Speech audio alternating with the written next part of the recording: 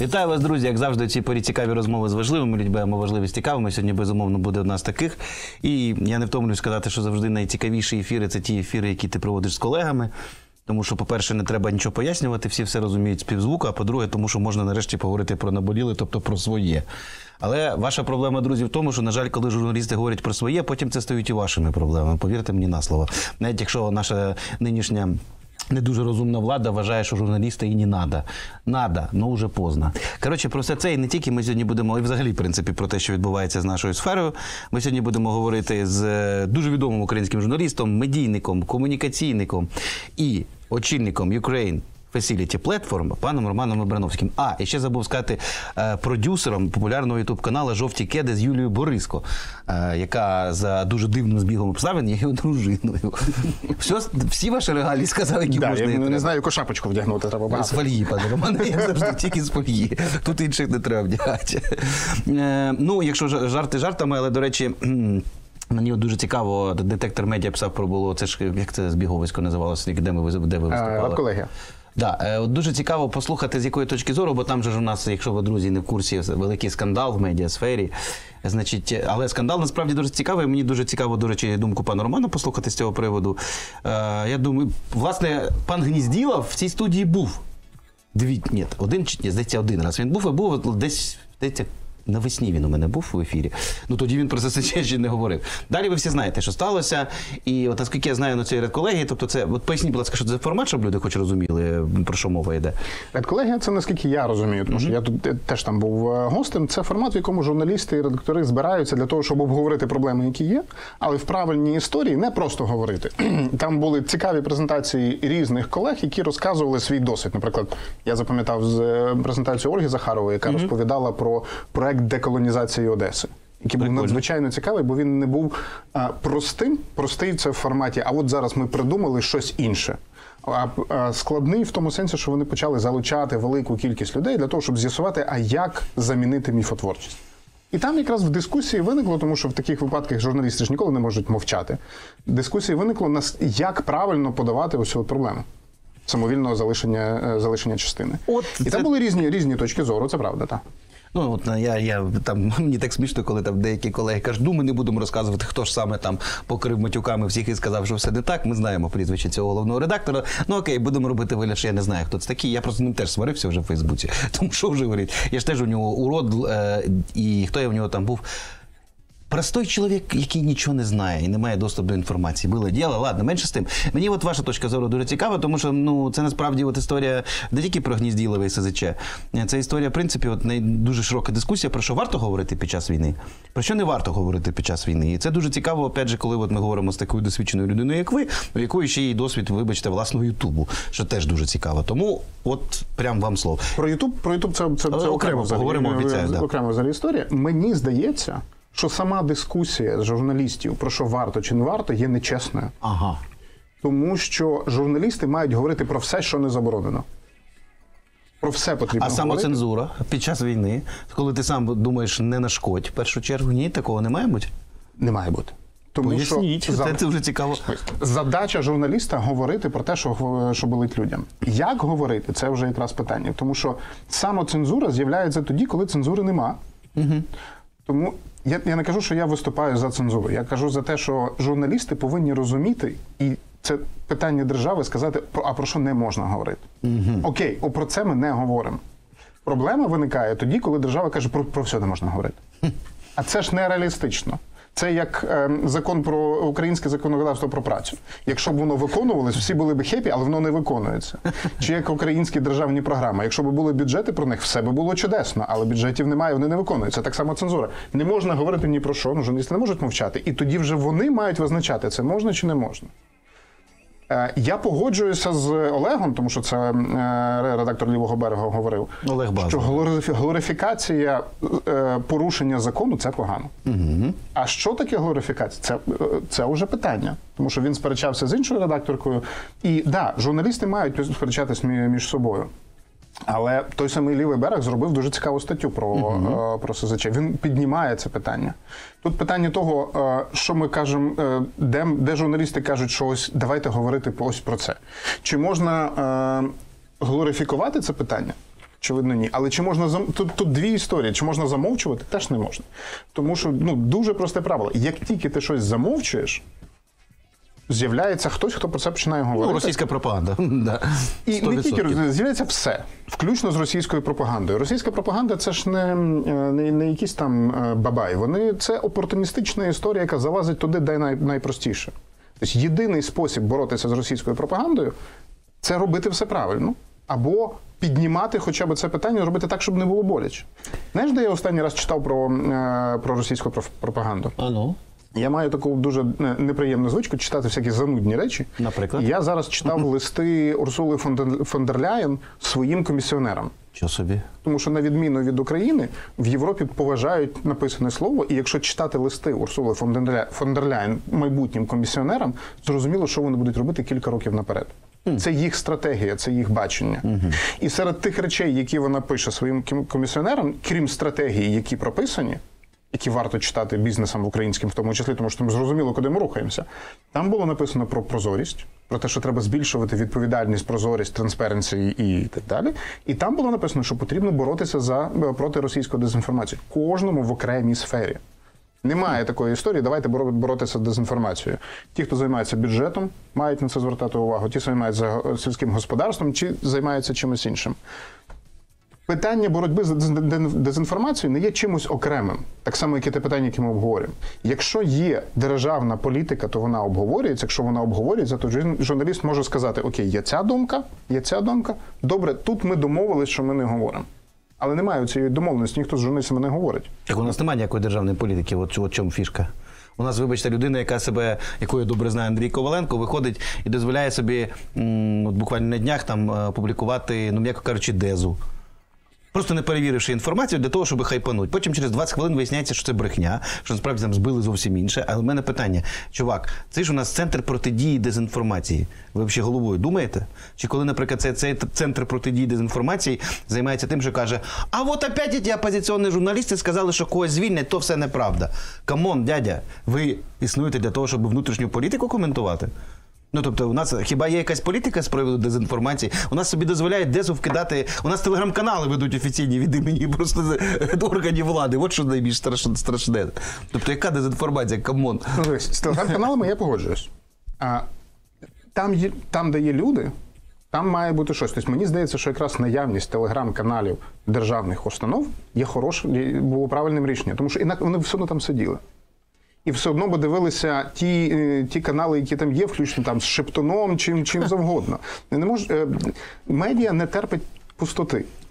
І якщо є TikTok, там треба бути. І якщо є Telegram, там треба бути. І паралельно з ним боротися. Нема питань. Мені здається, що найкраще бореться з, з, з, з телеграмою французька, наприклад, влада. Да, ідеальний варіант. І Мені подобається теж. Е, Я би закрив е, власників там трухи і всіх. Ну я, до речі, приводу телеграму хочу сказати єдине, з чим я з вами не погоджуюсь, пане Романе. Е, Коли одна справа, якщо це просто соцмережа, де там щось є. А коли люди бачать, що типу, о, так там же і президент, і там СБУ, і ГУР. І знову ж таки, одна справа ГУР, коли там ГУР викладає, умовно, має якийсь бот, ладно, я не обговорюю, там треба, не треба, менше з тим. Але інша справа, коли ти ну людина, звичайно, вона як мислить, ага, значить, влада там є, все офіційно, значить, це можна, значить, все хорошо, все, все хорошо. От чому проблема, розумієте? Я не бачу в цьому проблеми. Я О, я- я бачу величезну бачу проблему, Тому що ми зараз не в якому ефірі? Е, теле і радіо. Ну, формально, ну, якщо ж зовсім формально, то це радіоефір і запис для телебачення і Ютуба. Ми в ефірі Буткевича. Ну, є такий гріх з Тому вашого що, боку. е, тому, що, тому що люди звикли дивитися на тих людей, до яких вони звикли. І, Аудиторія є в Портнікова, звичайно. аудиторія є в Буткевича, аудиторія У пана є в Романа є аудиторія, в жовтих кет є аудиторія. Ну, тому що е, люди знають, і е, це те саме, що е, заборон- заборонити Телеграм, це те саме, що заборонити айфон. Чи Samsung. Та не Це забороняти. це всього навсього спосіб добратися до того, кому ти довіряєш. Проблема я, я, я, я розумію, чому проблем, де з'явилась проблема, проблема Телеграму. І тут великий привіт е, єдиному телемарафону. Тому що Телеграм з'явився там, де не було нічого іншого. Я своїми очима бачив людей, які роз- розвивали, на жаль, теж державні телеграм-канали на якомусь етапі, публікуючи туди там чорті що, кажучи, ну в нас же ж багато цих, в нас же ж багато під, підписників. Оце було не, не. Телеграм розвинувся, і ті канали мільйонники розвинулися на на, на пустому місці, яке мало би бути зайнято Да. суспільним, яке мало би бути зайняте телевізійними новинними каналами незалежними, яке мало би бути зайнято офіційними нормальними е, е, ком- комунікаціями. Тоді би все було окей, і так само, як в цілому світі, ну ми мали би тільки проблему з е, молодим поколінням, яке живе в Тіктоці. Да, це взагалі окрема історія, окремо. Ютуб їх переможе, я впевнений. Ютуб шорти їх переможуть. Я не те, що там. е, Ну ви ж теж вірите в Ютуб, пане Романе, як і я. Але питання в тому, що просто то китайське, то американське. Ну, сорян. Вибір очевидний. І вони дуже різні. І в Ютубі одна аудиторія, а в Тіктоці інша. Ну, YouTube зараз бореться з Тіктоком якраз за цю аудиторію. Дуже активно. У них там новації, вон скоро будуть нові шорти. Вони ж не дурачки. Вони теж розуміють. Мета буде вже от зверніть увагу, Фейсбук зараз всіх на відеоконтент починає підсаджуватися. Це ж не випадковість. І з досвіду, я думаю, що, що ви теж це бачите. З досвіду, навіть якщо є один бренд, то аудиторія в Фейсбуці, Дуже в. Ютубі Да, абсолютно да, різна. згоден. Тобто там є своя аудиторія, вони, вони звикли. Це звичайно проблема, що люди живуть по оцих не Бульбашках? бульбашках. Але е, поки що єдиним способом тиснути на, на це е, це бабло. Коли є сильна, коли є сильна економіка, яка розуміє, економіка дає силу владі, а влада починає е, будувати якісь певні стандарти. Я сьогодні на Форбсі читав інтерв'ю е, м, цього керівника європейського відділення TikTok, який казав, да, ми з усіма співпрацюємо, да, ми намагаємося зробити так, щоб щось там е, боротися з дезінформацією і так далі. Наскільки вони їм це вдається, питання відкрите, звичайно. Але той факт, що вони про це- починають говорити, ну, що вони бояться, що з ними, щоб ними з ними не зробили як з метою чи з алфабетом, і не почали розвалювати на частинки. Тому що ринок європейський і ринок американський настільки великий, Да. що вони влягають їхні ці. А у нас, е, до речі, була цікава дискусія на Київ Week. Один з керівників теле, телевізійних груп почав казати, що ті, хто залежить від е, Гугла, ну і Ютуб, зокрема, це дуже велика небезпека, тому що власник Гугла може сісти з власником Амазону домовитись, і ми, ті, хто займається Ютубом, просто пропадемо з видачі. А я стою і дивлюся. Я краще все одно від власника Ютубу буду залежати, ніж від українських медіагруп. Сто процентів.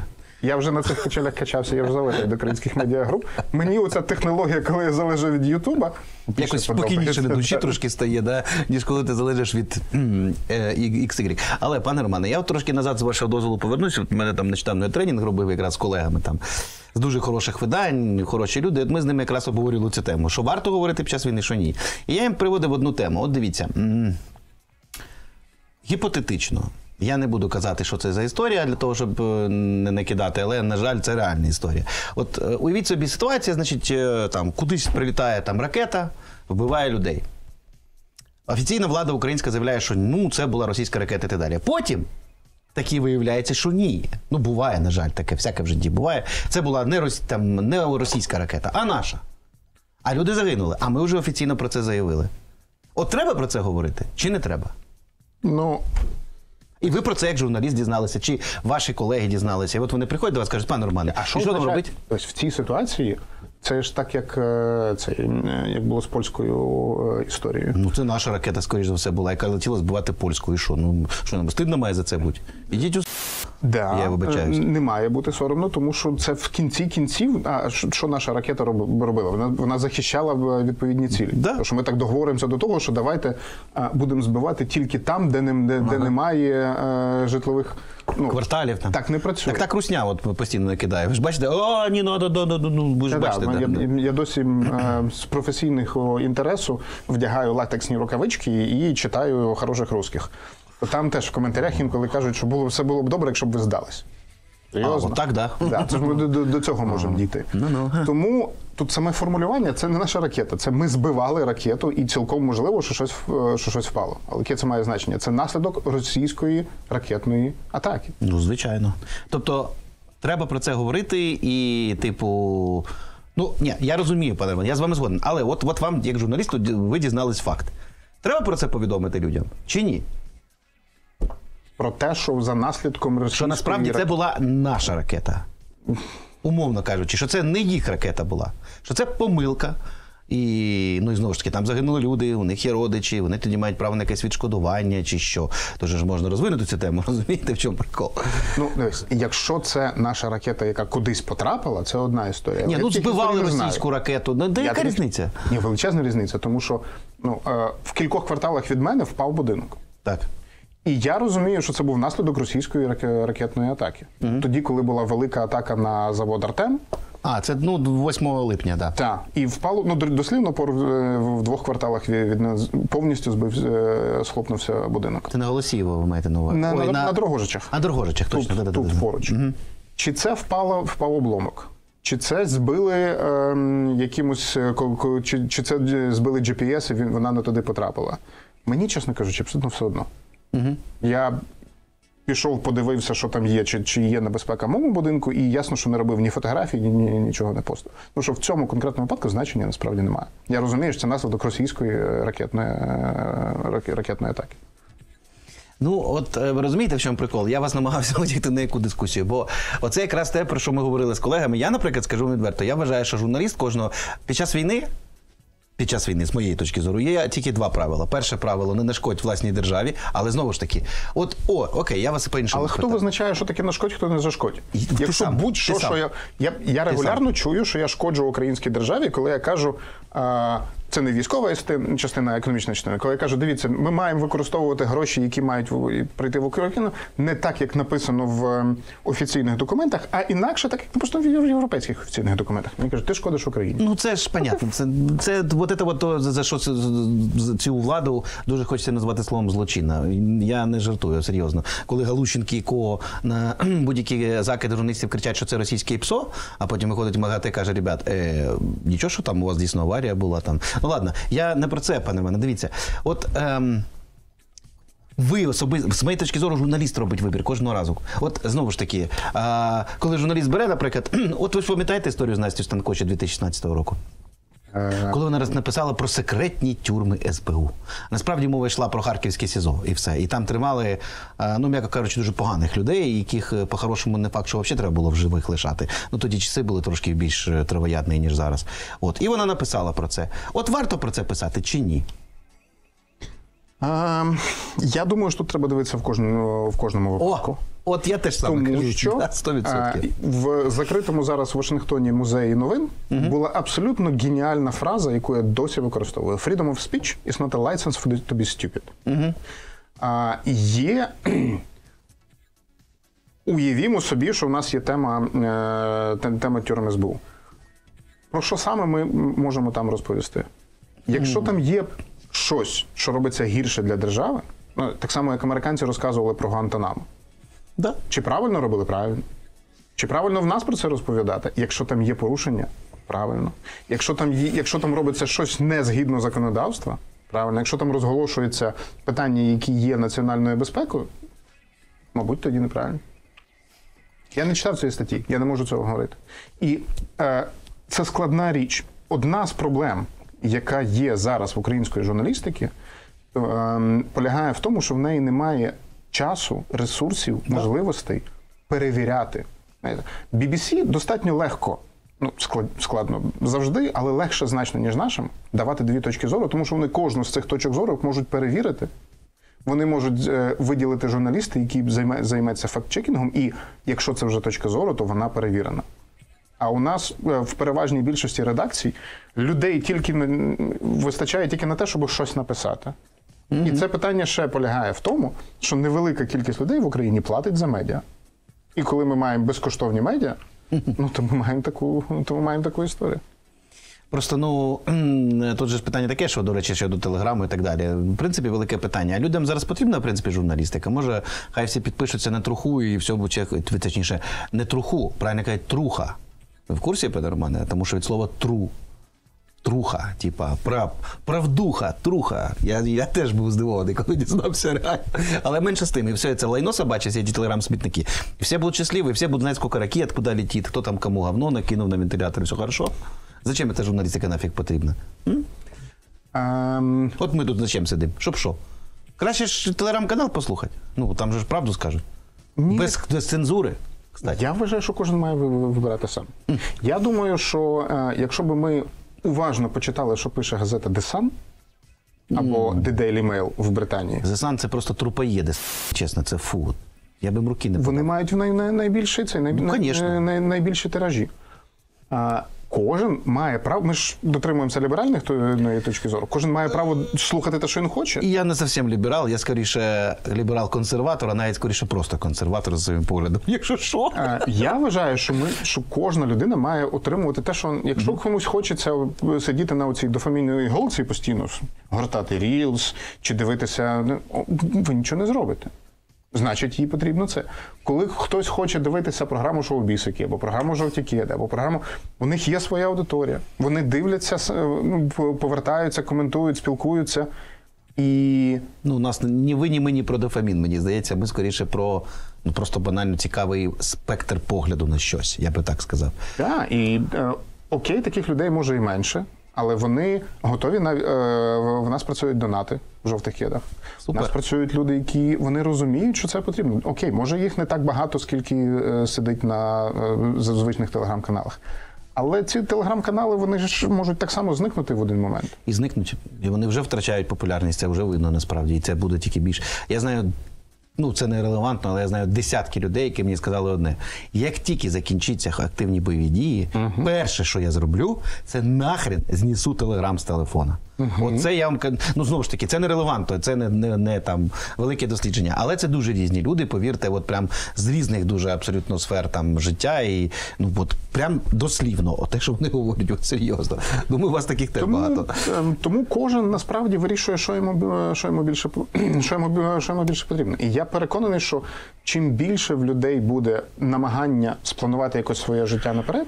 Тому що зараз ми ж кожного ранку прокидаємося і пишемо своїм друзям: в тебе попало, не попало. А, Живий? в тебе не. Нормальненько, да. І родичам на, на фронт. Що ти, як ти? Ага, хорошо. В цій ситуації, понятно, що всі тягнуться до, до телеграми. Тому що коли воно, е, коли в тебе шахід летить, ти намагаєшся прочитати, а може хтось теж його чув. Коли це буде трошки інакше, може і медіа їх немає сенсу називати. Ні, так вони не медіа, вони і не будуть медіа. Впевнений, що якщо всі ці телеграм-смітники поставити в умови, е, ну не так, як от в принципі вони з'явилися, коли спочатку прийшла нова влада, яка вирішила, що журналісти не потрібні, і взяла із Росії моду на телеграм. Окей, я розумію. Потім вона ці телеграми вирощувала, як гомункулуса такого в колбочки, а потім ще й ракети. Понятно, на страху вони зробили підписників. Але як тільки ці телеграми поставити в умови ну просто банального контролю, елементарного, як ну я вже не кажу там, щоб їх там прям нацрада контролювала, як нас. Ну я маю на увазі, хоч якось. Я думаю, вони здуються от ви знаєте, е, я пам'ятаю часи, коли Нацрада щось контролювала. Ми робили. От ми, ми давайте ми зараз матюкнемося, нас тут розіпнуть за це. Я гарантую, пане Романе. Не будемо матюкатися, не хвилюйтеся редакторам. Кажу, там уже боже, Я, я, я, я пам'ятаю е, серйозний контроль Національної ради з питань телебачення радіомовлення, коли ми робили проект Громадське радіо у 2002 році, коли нас випалили з ефіру, а, і ми були першим інтернет-радіо, тому що більше не, не, не було куди. Мені комфортніше в, в системі нових технологій, коли, коли, контролюють. коли я сам а, якби Я згоден з вами. і в- влада завжди заточена на те, щоб контролювати все. І ця, і минула, і перед тим. Я, я стежу за українськими владами, мабуть, з 2001 року. Ще з, я, я пам'ятаю ще Леоніда Даниловича Кучму. А, вони всі спочатку намагаються щось зробити, а потім закриваються і намагаються контролювати. Це, це процес, який завжди е, відбувається. Питання тільки в тому, яка кількість людей їм не дає цього зробити. І це нормальний насправді на- на- на- нормальний насправді процес, який зараз обтяжений війною, тому що що би ми про них не говорили, тут є теж питання в тому, що не можна пере- переходити межу, Да. і в кінці кінців ми розуміємо, що головнокомандувач є головнокомандувач. І ми можемо сперечатися Верховний, верховний, пане Роман. Ви вже гріх допустили з точки як, треба казати верховний головнокомандувач. Грішний, так. Все, от визнайте, нацрада, зверніть увагу, людина вже кається. Не присилайте нам, будь ласка, догану. Та ні, просто за матюки ж потім, повірте, все одно. Це єдине, здається, чим вони опікуються, це матюками в українському ефірі. Бо не можна, бо не можна в українському етері матюкатися. Матюкнувся, все, і одразу став москалем. До речі, от ми тут нам е, пишуть люди на студійний Вайбер, і пан Роман сказав, що от він не розуміє. Це теж, до речі, дуже цікаве питання з приводу Вайбера, різних там соцмереж, як вони працюють. От феномен Вайбера, поясніть, що ви хотіли розказати. Це правда дуже цікаво. Ем, Я зараз величезним. е, Я, чекаю, поки оприлюднять Інтерньюз новий Media Consumption Survey, щорічне дослідження того, як люди сприймають інформацію, якими, якими каналами. Дуже цікаве. І всі минулі показували зростання не тільки ну, якби всі, зростання всіх мереж, але в тому числі Viber. Viber дуже специфічна мережа. тому що він побудований на групах, які дуже важко зайти. Там є, е, як використовується Viber? Чат школи, чат села, чат окремої вулиці. Там, ви, там можна е, сказати, ну тобто я знаходжуся в кількох, е, в кількох чатах окремого там селища, в якому розказують про, ем, значить, де можна купити мед, де можна скопати город, де можна ще щось, і про політику. Угу. І їх І що настільки- кажуть? Ну. Нацрада. Ви казали, не можна, так? Нацрада. Я вас секс- будемо мас вирізав. Вибачте, пане Роман, це буде смішно. Ну ну ну і це, дуже важко проконтролювати. Тобто, з цим можна. Я розумію, яким чином працюють з цим там росіяни чи боти для того, щоб розкачувати ситуацію. Ти береш один меседж і в величезній кількості цих чатів закидаєш. Ну, да. Як це моніторити дуже складно. Тому що вони, якщо в тебе є один ти можеш. Я стежу за теж в латексних рукавичках за кількома телеграм-каналами, щоб зрозуміти, як ті чи інші сили намагаються куди за- е, що говорити. А особливо я вдячний виданню Forbes, яке оприлюднило е, цінники в різних, е, в різних каналах, скільки коштує який пост. І ти чітко розумієш там дуже часто хто що. Яка середня ціна, кстати? Е, По-моєму, від 50 до 60 тисяч гривень. Ну, тобто, під, під там полторушку баксів. Нормально. Це Такое, да. Я це для мене це був це був шок, звичайно, тому що коли мені розказують, що немає медіаринку в Україні, Ну, він є. ем, це те, що очевидно платять для того, але це наслідок чого? Це наслідок того, що люди не платять за інформацію. Відповідно, вони отримують не просто безкоштовну інформацію, вони отримують інформацію, за яку заплатив хтось інший. Ну, да. Поки ти не платиш, ти отримуєш щось, що тобі на цей навалює хтось, е, хтось інший. Ем, але в Viber це відстежити дуже важко, тому що там дуже багато різних чатів. І це якраз питання технологічне. Це до це питання до розмови з власниками. Е, Я наскільки розумію, Rakuten Viber, ну якби Японці. компанія, яка цим займається, вона теж вже починає ставитися дуже серйозно і до а, власного шифрування, і до того, що це вже не російська компанія. Але знову ж таки, це потрібно, щоб ринок український був настільки важливий для них, щоб вони прийшли і спитали: ну добре, давайте говорити що. А найкраще, звичайно, це європейська інтеграція, коли ми стаємо частиною європейського простору і разом з європейською комісією говоримо з цими компаніями, а що насправді можна робити, а не просимося до них. Давайте про щось домовимося. Окей, давайте про Ютуб, тому що, власне, у вас є дуже цікавий кейс, у мене є, тут є про що поговорити. Плюс, е, ну, скажімо, напевно, з усіх соцмереж, напевно, Ютуб викликає в Україні найбі- най, ну, я не знаю, напевно, оптимізм певному сенсі. Ну, як оптимізм? Поки ти не бачиш заголовок е, на деяких е, телеканалах, там, всяких там сміттярках, типу там фабрики новини, подібне, це, звісно, просто жесть. Там шок, срочно, там он умер. Там, ну, зайдіть, подивіться самі. Е, Я це ну, от це навіть навіть в перчатках не хочеться, як ви кажете, латексних на це дивитися. Це просто це. Я не знаю, мені здається, найбільший чан в пеклі приготований для от тих людей, які от этот клікбейт придумують, от, от ці от заголовки. За це треба просто вішати за причинне місце. Ну, менше з тим. Тим не менше, Я себе відчуваю, що я за ньому вийшов, тому що ми теж придумуємо клікбейтні Стоп, заголовки. стоп, стоп, стоп, стоп. стоп. Є різниця. Одна справа е, мистецтво журналістського заголовку, інша справа, от то, що, про що я кажу. Срочно!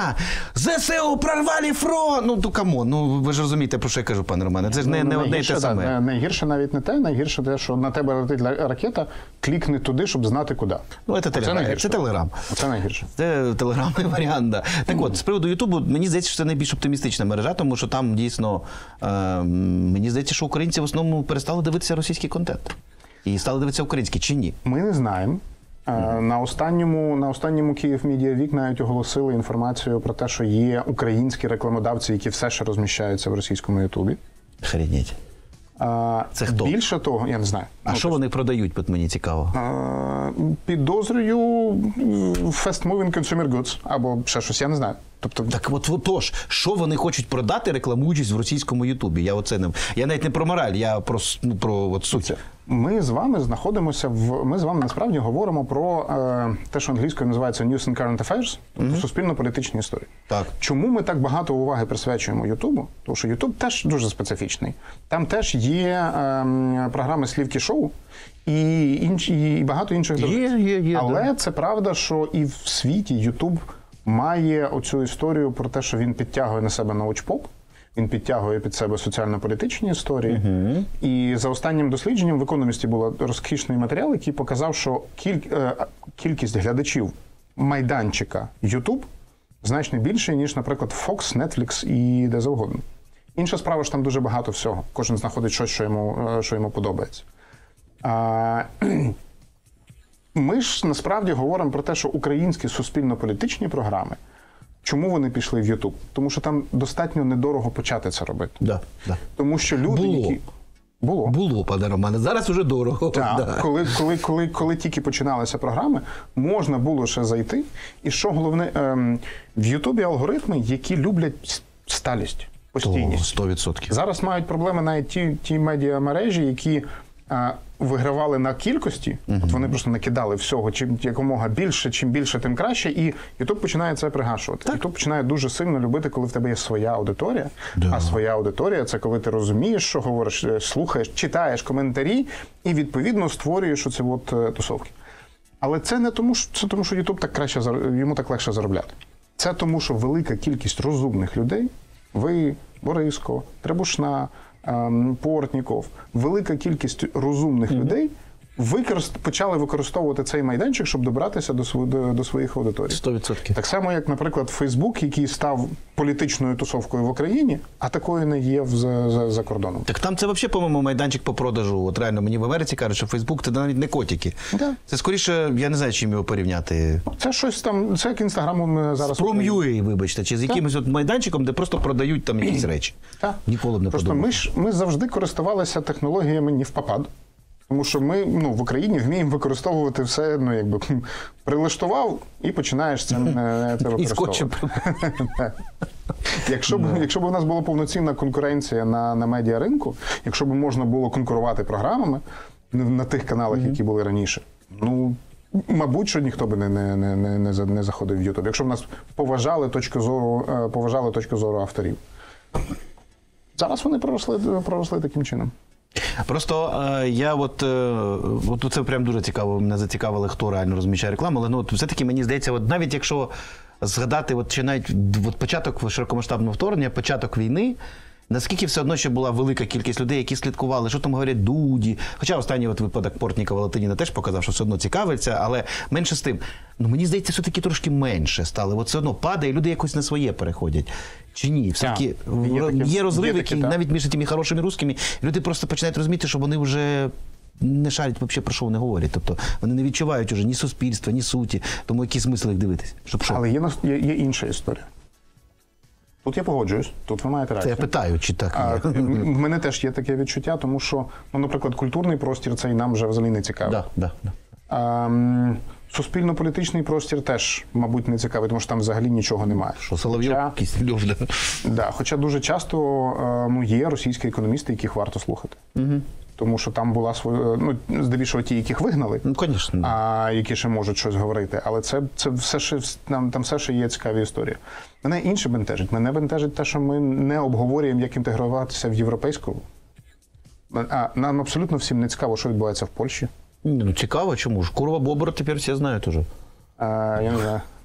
Ні, ну я це жарти жартами, але реально мені здається, до речі, зверніть увагу, наскільки польські жарти, ну я наскільки я бачу, ну, молодь особливо, ну вони цілком уже шарять загальносвітові тренди, у них взагалі немає ніяких проблем з цим. Тобто А і з молодь, теж. да. стендапери, так. Тобто все, що стосується молоді, але от суспільно-політичний дискурс, нам все-таки дуже важко зрозуміти, що відбувається в Польщі, що відбувається в Словаччині, що відбувається в Угорщині, що відбувається в Брюсселі.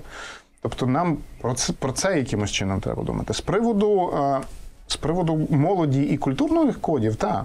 Ти англійською мовою вже немає значення, звідки це. Тобто, що ми мало говоримо про їх політичну ситуацію у них, ви маєте на увазі?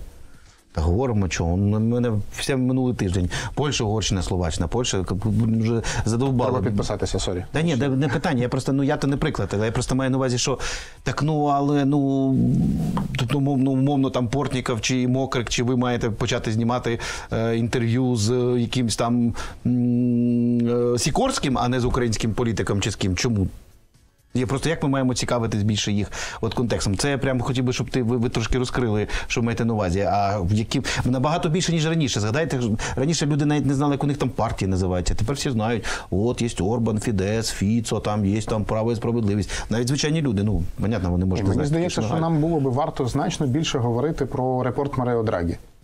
поясніть. який е, недавно вийшов новий звіт, в якому колишній італійський прем'єр Маріо Драгі Так. написав на багатьох сторінках історію про те, що якщо Європейський Союз не змінить своє ставлення до економіки, то не буде що не, не буде за які гроші захищати ті європейські права, людські права, які, за- які побудовані на Європейському Союзі.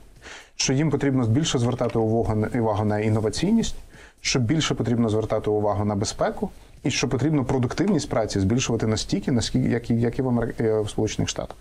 Ми ж, коли йдемо в Євросоюз, нам здається, що там комунізм. А там значно все складніше. І в нас, в нас є можливість, насправді, маючи угоду про, е, про асоціацію, використовувати свої сильні сторони. І інша справа, як ми знаємо, е, чи, чи багато ми говоримо про українців, які там. Ми або мовчимо із серії, та вони виїхали, або, хоча насправді це якраз ті люди, які можуть робити осередки майданчики, вчитися. Жоден українець, який виїхав за кордон, не нарікає на дороговизну е, тарифів. Чого ще як нарікають? Не скажіть. А, да, але він не каже, треба, щоб нам е, робили менші тарифи, як кажуть в Україні. А через деякий час вони вже починають розуміти, що чому це так виглядає і чому настільки, настільки дорого все, все там. А, розуміти, як працює Європа, розуміти, куди вона рухається. Чому Європа це ж як величезний корабель. Якщо почитати оцей звіт Маріо Драгі, куди потрібно рухатися?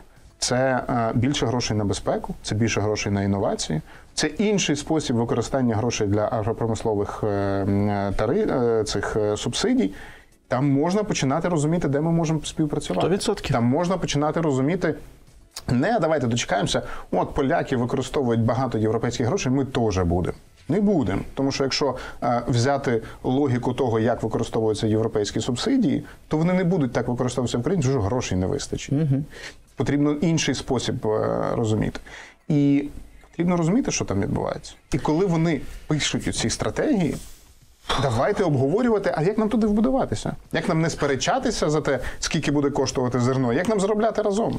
Пане Романе, ви ж розумієте, ну це я з вами то погоджуюсь на 100%, але тут ви давайте ми згадаємо, що таке стрічка в Ютубі, да, і уявіть собі відео, де обговорюється. Ні, я то це може подивлюся, ви подивитесь, там ще 10 людей.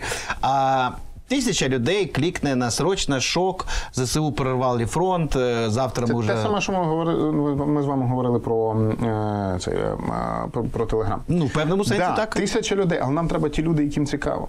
А от Нам люди, нам треба ті люди, яким справді е, цікаво те, що говорять. У нас А на вибори хто прийде, пане Романе? Скажіть, а на вибори ж прийдуть всі, розумієте, потім не тільки ті, які умні, а ті, які шок срочно в номер, і які Шаманська їздять і бере інтерв'ю у керівників ОВА по задачі Офісу президента. І я, до речі, вибачте, от прямо вас закликаю, от эту от подругу і от этих от е, медіа істот з пониженою соціальною відповідальністю треба мочити зараз. Тому що потім, от в эти от уроди з Офісу президента, нам виростять нових журналістів, розумієте? От із цих от... В мене є правило не коментувати А даремно, от дуже У даремно. мене є правило не коментувати колег після не кількох, колеги, кількох, кількох варіантів, коли мене коментували і закатували в, е, в асфальт. Я не буду вас закатувати, обіцяю. інша, інша історія. Питання виборів взагалі теж це зовсім інша річ. Тому що, якщо ми подивимось в Штати, там теж дискусія дуже і дуже проста, і цілком можливо, що геймчейнджером цієї дискусії стали Тейлор Свіфт. Побачимо, сказав сліпий, як то кажуть. Ну, тобто, ми ж не зна- е, ви багато знаєте з- пісень Тейлор Свіфт? Ні, ну я її за нею Я не слідкую. Ні, я за її твор... Ні, слухайте, я ж таки куди колись я музикантом вважав, тому я, в принципі, намагаюся ще я ж не зовсім такий вже, що взагалі то все, історія музики закінчилася в 1990 році. Я намагаюся слідкувати, що відбувається. Я не фанат. А ну, кілька. Якщо ви мене скажете наспівати, ні, не наспіваю. Але я, я, я про якщо ми говоримо про вибори, то ми не можемо покладатися виключно на те, що на виборах треба розказати людям всі оці от стратегії, бачення. Не треба. Взагалі не В. Америці теж ем, е, стратегію на багато років робить Deep State.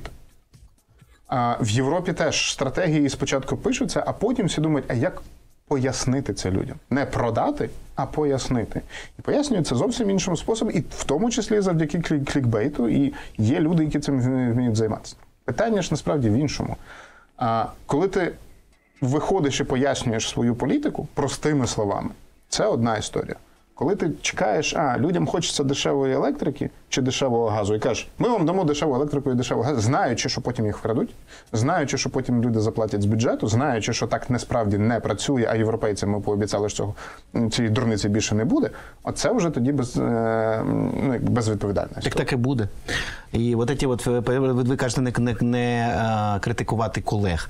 Просто я ж кажу, мене от що бісить е, в нинішній владі, а вони ж реально геймченджери. Тобто, знаєте, ті намагалися, всі попередні влади, вони намагалися там з кимось загравати, з когось там мочити і так далі. А ті вирішили, що медіа їм просто не потрібні. Давайте ми візьмемо каких-то непонятних безродних не буду поганих слів казати. І зробимо спочатку вони з телеграма пробували вирости. Ну, телеграма історія скоро закінчиться. Так вони це відчули. Вони тепер починають пробувати Вибачте, виростити своїх вибачте. так званих журналістів. Тобто ви не пам'ятаєте, хто такий Лапікура, Чесно кажучи, не дуже. який робив програму Акценти? Який, А, ну, в принципі, то саме, що робив робить, робить Кисельов, просто методами ОТЛ-1. А, все, тепер згадав, тепер згадав. Да. Чи Ну, хто такий Піховшик? ну, Піховшик, Тобто- понятно. Кстати, де он? Я не Кстати, знаю. кстати, де он? Ви не в курсі? Я не знаю. Останній раз бачив його на фотографії з пілоткою. Ні, я б сказав, він в сидів- Україні досі? Я не знаю. Не, не, не коментую. Хоча насправді він, а, я знайомий з е, Вячеславом Піховшиком, він дуже розумна людина. Ну, але алкоголь Він нікого дуже розумнішим не розумний. робить. Мгм. Він дуже розумний аналітик. Да, да, да. Просто як казав інший мій, мій, мій колега, ну той, хто продався, він ніколи особливо добре через деякий час почувати себе не буде. А, люди, які приходять і владі кажуть, зараз все буде хорошо, були при кожній владі. У них були різні прізвища, вони були різними Ну, да. технологіями, і кожна влада на це попадалася. І кожна влада, яка на це попадалася, потім замінювалась іншою. У нас оце таке велике коло. Ну, Це, я вважаю, що на це треба спокійно дивитися. І слава Богу, що в нас не так, як в Російській Федерації. Поки що. Якщо ви пам'ятаєте, Кісельов Теж був в. Україні насправді дуже багато чого зробив, і він був проєвропейським м, журналістом. Да, да, я пам'ятаю фоточку в е, формі збірної України. Серйозно. Є така фотка з 2004 чи 2005 року. Він в формі збірної України, надписом Україна. Посміхається там, що. Серйозно. Він, він, він, багато, він багато працював в Україні, і тоді, коли він працював в Україні, він таким не був. Ну. Жизнь боль, як то кажуть. Просто я, я вас чому е, намагаюся на якусь протестну ну, таку конфліктну історію, тому що розумієте, мені здається, що медіа то нікуди не дінуться, але е, ну, зараз настав момент, коли реально от, поняття бренду стане дуже сильно розмиватися. Люди будуть ходити, як там, не знаю, в 18-19 столітті, не так важливо, де пише. І навіть що пише, а важливо, хто пише. Це добре чи це погано, але це так. І якщо медіа за цим не будуть услідковувати, то медіа будуть падати. Чи ні? Дивіться, медіа мають це використовувати. Якщо медіа поважають своїх ведучих, а є телеканали, які поважають своїх ведучих, і використовують їх. Пане Романе, ви зараз серйозно? Є такі канали, які поважають своїх ведучих? Є. Окей. Може бути, може бути. Це, звісно, Зокрема, в Київ, друзі, безумовно. Зокрема, в регіонах. І ті, які поважають своїх ведучих, вони отримують, ну, якби, отримують синергію. І вони отримують якби, позитив від, е, від того, що зараз, да, зараз все стало персоналізоване. І якщо, якщо люди хочуть. Я вам розкажу таку історію. Ми колись з Харківською однією газетою спілкувалися, і, вон, і ми е, хотіли зробити з ними якусь кампанію. І вони кажуть: Окей, але вони з нами погоджувалися. Це була кампанія про е, е, охорону здоров'я. Ми, ми робили так, щоб медіа більше писали про те, як захищатися від туберкульозу. Але вони кажуть: ви знаєте, ми, ми це перепишемо. Я кажу, чого? Не по-харьковски написано. Ага. А, по- а, не на харьковском языке, как говорил незабвенный, уже, слава богу, покойный этот І самый, вони з да? нами власне про це розповідали. Вони кажуть, наша аудиторія теж має якісь. Ми не можемо постійно вчити людей. Ми, ми на них працюємо. Ми можемо їм розказувати те, що ви говорите, і це теж правда, але в тою мовою, яку вони зрозуміють. І якщо є такі канали, якщо є такі люди, значить є такі люди, які їх це які, які за цим дивляться, які за цим слухають. І ми теж нічого не, з- не, не, ні- нічого з цим не зробимо. Немає такого, що давайте зробимо. Якщо ми скажемо, є тільки правильні медіа і неправильні медіа, то ці правильні медіа Та стануть немає. єдиним марафоном і перетворяться в гарбуза. Слухайте, з приводу правильних медіа, я нагадаю, що в комісію нашу дорогу з питань журналістської етики входив Мацука. Тара-та-та-там. І що? Ці люди мають право далі щось розказати. Ні, вони тебе виключили, звісно. Як колишній секретар комісії журналістської етики, я запевняю вас, що було правильне рішення е, зробити те, що комісія зробила, тому що всі сприймають комісію журналістської етики як ем, такі журналістський БХСС. От вони мають сказати, як правильно, а якщо не сказали, вони всього на все піднімають питання і кажуть, давайте подумаємо, чи ми це робимо, чи не робимо. Це ж. Це ж питання всього-навсього дискусії щодо стандартів. Неможливо журналіста щось заставити зробити, а якщо можливо зробити, він е, ну це вже тоді ну, якби Російська Федерація. Журналістів неможливо заставити, навіть якщо вони нам не подобаються. Ну, просто може треба правильний ключик підібрати. Як казав герой Пачіно в фільмі Адвокат диявола. Мій любимий гріх це Числавія. Ну, то таке. Є такі історії. Але якщо це, наприклад, ключик гроші, Ну, то це цей журналіст через час так трапляється, що він втрачає довіру. Це відбувається дуже часто.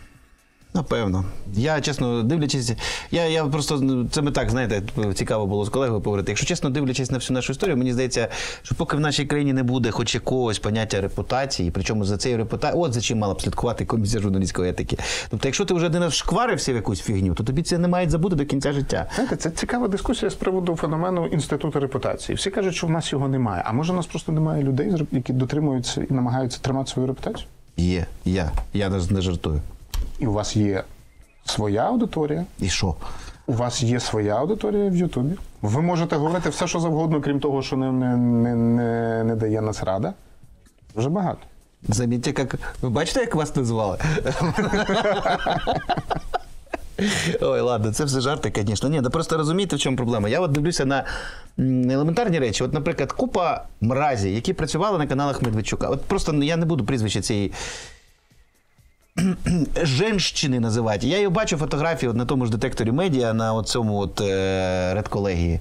Воно що то там стоїть в кадрі, умнічить. Мені хочеться спросити, ти мразь, с- працювала на Зікі з Влащенчихой, у- на канале Медведчука, и ты ще что-то там рот открываешь по поводу того, с кем ты там работаешь, что ты робишь. И все нормально, всі з них стоять фоткаються, все, всім все хорошо. Ну, якщо що, запам'ятайте, це ми з вами погані, і це нам з вами руку подавати не треба, тому що ми плохі. А вони всі хороші, тому що вони додому тусуються Я- я вже- і п'ють каву разом в одних кав'ярнях. Мене в чорні списки з 2002 року вносять. Ну, от е, бачите. різні. Я, я дуже добре це, це пам'ятаю. Інша справа, що я теж працював на каналі Зік. Ге-ге, стопе. Вибачте, зік-зік у розні. До того, як його продали Медведчук. Ну, так, як, як тільки продали, зразу наша програма звідти, звідти пішла. Але програма, я був редактором на одній з програм. І ніхто нам нічого не міг казати. Один раз, е, може, навіть спробували, але я навіть якісь відголоски. Ну, це ж інший був ЗІК. Хай він Демінському належав, але все одно це був ЗІК, вибачте, львівський канал, а не канал Медведчука. Который, це ж різні речі. Слухайте, на ЗІКу купа людей працювало, моїх друзів, там, товаришів, і це все ок. Але вони всі встали і пішли, як тільки його купили. Ну це ж теж правда, розумієте? Да, наша програма теж тоді в той же ж момент пішла. От В момент власне. оголошення. А тут оця мадемуазель продовжує стояти. І от мене більше за все бісить, що самі так звані колеги з нею стоять, фоткаються. Ладно би хрін з ним глядачі. Ну ви то самі маєте розуміти, що коли ви з нею фоткаєтесь, ви просто самі е, ну, унормовуєте. Шлюховство, по-іншому не знаю, як це називати. Зачем? Я, ну, це риторичне питання, але ну от, от, от це проблема, розумієте? Ніхто ні з ким не хоче сваритися, зрештою. А, а, дивіться, проблема ще полягає в тому, що якщо цієї, якщо, якщо так далі спілкуватися, тому що в мене теж є багато маю питань до багатьох е, людей, які до, які до мене мають багато, е, до багато питань. Але найкраще, що ми можемо зробити для росіян, це це між собою. От з такими людьми, як ця подруга, я би не просто сварився, я би до кривавих соплей би. І не тільки сварився, чесно. Ну, ну бо давайте ж ми нарешті якось зерна від плівел відділимо. Раз хоча б з 2004 року не можемо цього зробити. Вам так не здається, пане Романе? А, ні, мені здається, що це значно раніше, тому що я навіть знаю там, да? представників е, цього національної спілки журналістів України, які захищали е, канал Зік Медведчука.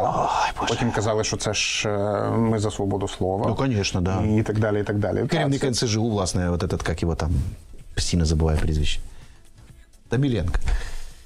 А не правило не, не, не, не, не Ну, це, це ваше, пане Романе. Це я, це я сказав какашку, не пан Роман. Зазначаю Ні, я йому в обличчя теж говорю все, що я думаю, тому ми так собі е, спілкуємося. Але знову ж таки, проблема полягає в тому, що Не встигли ми про ваш YouTube, а мені треба прощатися. Вибачте, будь ласка. Роман Вибрановський. краще не під- підписуйтесь під всі ютуби. Жовті на жовті кеди. Підпишіться, будь ласка, терміново. Ukraine Facility Platform. Дуже дякую вам за увагу. Побачимось, почуємося.